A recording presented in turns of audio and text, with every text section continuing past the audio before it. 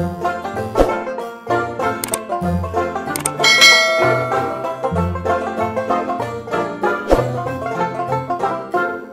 Hello விவோஸ் இன்னைக்கு என்ன news பார்க்க போறோம்னா இப்போ தமிழகத்துல ஐந்தாம் கட்ட ஊரடங்கு உத்தரவு நடைமுறையில இருக்கு. இருந்தாலும் தமிழகத்துல பல தளர்வுகள் இருக்கு. பல மாவட்டங்கள்ல இப்போ போக்குவரத்து வழக்கம் போல இயங்க ஆரம்பிச்சிருச்சு. மக்கள் எல்லாமே சகஜ நிலைமைக்கு திரும்பிட்டு வந்துட்டு இருக்காங்க. இருந்தாலும் தமிழகத்துல கொரோனாவோட பாதிப்பு அதிகரிச்சுட்டு தான் வந்துட்டு இருக்கு. இந்த நிலையில மேல கொரோனாவோட தாக்கம் ரொம்பவே அதிகமா வரும் அப்படின்ற காரணத்தினால ஊரடங்கு உத்தரவை கெடுபிடியாக்கலாம்னு முயற்சி பண்ணாங்க.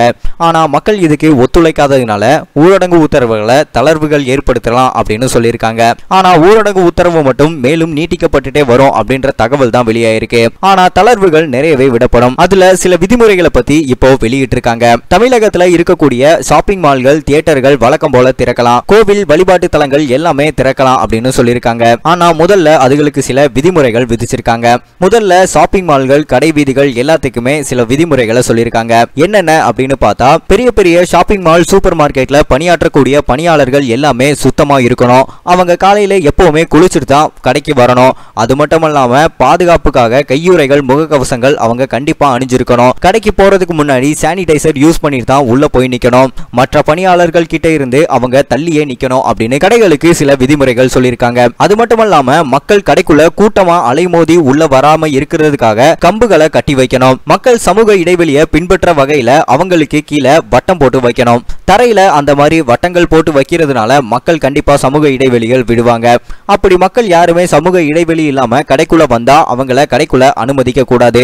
முகக்கவசங்களும் கையுறைகளும் இல்லாம வந்தா அவங்கள கடைக்குள்ள அனுமதிக்க கூடாதுன்னு சொல்லியிருக்காங்க.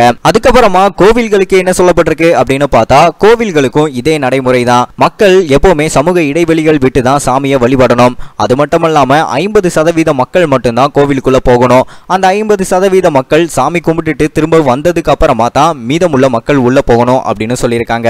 இப்போ மக்களுக்கு உள்ள சில விதிமுறைகள் என்னென்ன அப்படின்னு பார்த்தா கடைகளுக்கு போறதுக்கு முன்னாடி சானிடைசர் யூஸ் பண்ணி தான் கடைகளுக்குள்ள போகணும்.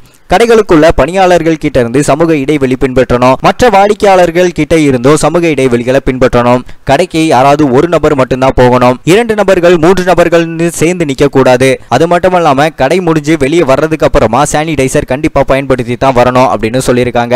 அது மட்டும் இல்லாம கடைக்குள்ள போய் தேவையற்ற பொருட்களை கையுறைகள் அணியாம தொடக்கூடாது. அப்படி கையுறைகள் அணியாம ஏதாவது ஒரு பொருளை தொட்டுட்டா அந்த பொருளை நீங்க தான் வாங்கிக்கிறணும் அப்படின்னு சொல்லியிருக்காங்க. கடைகளில் எப்பவுமே பாதுகாப்பாக இருக்கணும். ஒருவேளை கொரோனா இருந்து ஒரு பொருளை நீங்கள் தொட்டுட்டீங்கன்னா அந்த பொருளை மற்றவங்க வாங்கினாங்கன்னா அவங்களுக்கு கொரோனா பரவுறதுக்கான வாய்ப்பு இருக்கு. அதனால தான் இந்த விதிமுறைகள் பிறப்பிக்கப்பட்டிருக்கு அப்படின்னு சொல்லியிருக்காங்க. இப்போ தளர்வுகள் விடப்பட்டு சூப்பர் மார்க்கெட் ஷாப்பிங் காம்ப்ளெக்ஸ் வழிபாட்டு தலங்கள் எல்லாமே திறக்கப்பட்டாலும் மக்கள் அலட்சியமாக இருக்கக்கூடாது. ஏன்னா அந்த இடங்கள் எல்லாத்துலேயுமே கட்டுப்பாடுகள் ரொம்பவே கெடுபிடியாக இருக்குன்னு சொல்லியிருக்காங்க. இதை பற்றின உங்களோட கருத்தை மறக்காமல் கீழே கமெண்ட் பண்ணுங்கள் நன்றி வணக்கம்.